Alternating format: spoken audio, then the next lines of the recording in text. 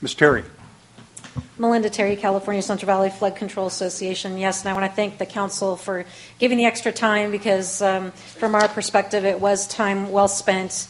And um, your staff, and, and we, as we said, we had the um, Flood Protection Board there as well and others. And we appreciate um, Supervisor Nottoli and, and really Joe Grindstaff too, because he, he was actually doing a little bit what he was doing with you all earlier today, which was writing out some language. He was? Right there. No. Uh, no, um, language? Joe Grindstaff was.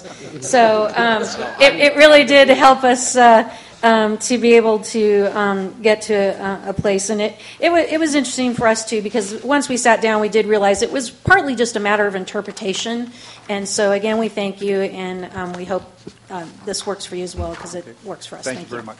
Anyway,